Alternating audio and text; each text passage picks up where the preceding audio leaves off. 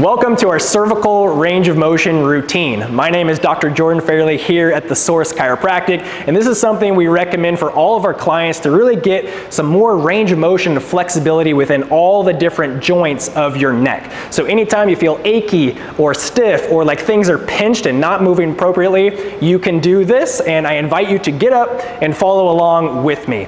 First and foremost, we want to focus on how you are breathing and where your shoulders are positioned. So I want you to think about breathing into your belly and then finishing that breath into the top of your chest. So take a big breath in and then let that extend all the way up into your collarbone. So like your collarbones are coming up and your shoulders are going down. So big breath in and then collarbone rises up there. That will position our shoulders back and down nicely and give us a ton of space for your neck. So holding that position, now we're gonna go into shoulder rotation. So getting our shoulders nice and warmed up so that it allows some of that de-stressing of the muscles that go up into your neck. So this is going all the way up and then back and down, getting the shoulder blades to move over your rib cage, getting all 17 of those muscles that attach to the shoulder blade to move and to break up any tight, intense spots. Now we're gonna go into alternating shoulder rolls. So right ear to right shoulder, right left shoulder to left ear, coming back and down, getting all that motion side to side. Shoulder blade is moving over the ribs,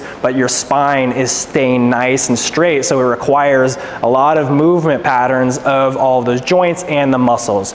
Now that we have the shoulders nice and warmed up, the cervical range of motion we can think of as doing yes, no, maybe, funky chicken, and then we're gonna stretch it out, okay? So follow along with me. Again, breath into the chest, shoulders back and down. You're gonna look all the way up to the ceiling, getting extension in your neck, and then all the way back down, chin down to your chest. Get a nice stretch, looking all the way back up, getting a nice curve back in the neck. So if you lost that curve, this is really good for you. All the way back down into flexion. Good, we could do this a few times. Again, you can do this as many times as you want. It's just good to go through these ranges of motion. Now I want you to go look all the way up to the ceiling and then do rotations in extension. So we have that nice curve in the neck and then we're requiring all the different joints to fire and go glide along their normal plane lines. So you might feel some crunchiness side to side, that's okay. Make sure you, again, you're breathing into your chest and rotation down.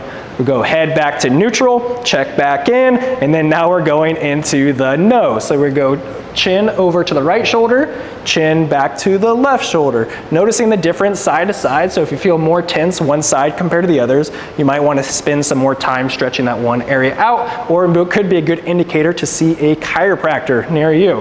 And then we're going to go into the maybe. So we're going to go right ear to right shoulder. This is lateral flexion. Then we're going to go left ear to left shoulder. And then the opposite way again, taking those big breaths into the chest, keeping your shoulders back and down, creating space, noticing differences side to side, getting this lateral flexion stretching on one side as we compress into the other, so all the different joints in your neck are moving. Perfect. Now we're gonna do my favorite part, the funky chicken. So you're gonna go chin forward into retraction, into protraction, and then chin all the way back, giving yourself a double chin into retraction. You're gonna go forwards and back. You're getting flexion of the spine, extension of the spine, and the back of the skull is moving on top of that top bone in the neck. So as you do this a few times, now we're gonna do this with rotations. So as you go forwards, your head is coming around. As it comes back towards that in range, you're coming back into retraction, and then all the way around through that entire motion.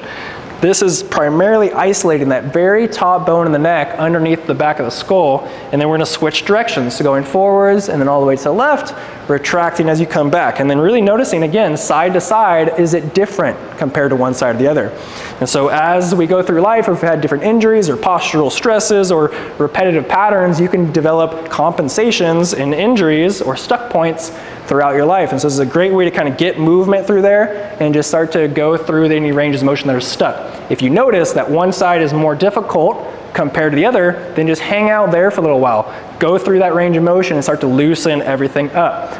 Awesome. So you went through flexion extension, lateral flexion, rotation, and protraction, retraction with rotations. Now we're gonna stretch out the whole front and side part of your neck. So you're gonna take your hand, you're gonna put the back of it on your lower back. I wanna take a big breath into your chest and then bend your head the opposite way turn your chin that opposite way and then pull your shoulder back behind you. Oh, that's awesome. You're gonna feel a huge stretch onto this side.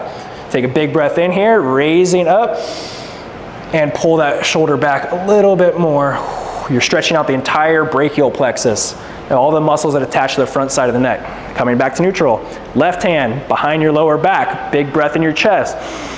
Right ear to right shoulder, chin to right shoulder. Pull that elbow back towards the wall behind you. Breathe out, hold that space. Anybody who has tingling or numbness going down into their arms, this is a great stretch for you as it opens up right where those nerves exit out. And you could do that side to side. Perfect. So that is our cervical range of motion routine. We highly recommend doing this anytime you feel achy or stiff, maybe you slept in a weird position, or also at the end of the day after you've been falling into bad posture patterns, okay? So we recommend doing this on a daily basis and also a little bit extra when you need it. My name is Dr. Jordan Fairley here at the Source Chiropractic. I highly recommend that you pair this with a great chiropractor near you. If you need help finding one, feel free to reach out and also leave a comment on this video of how this has helped you. I appreciate you and I look forward to seeing you in some of our other videos.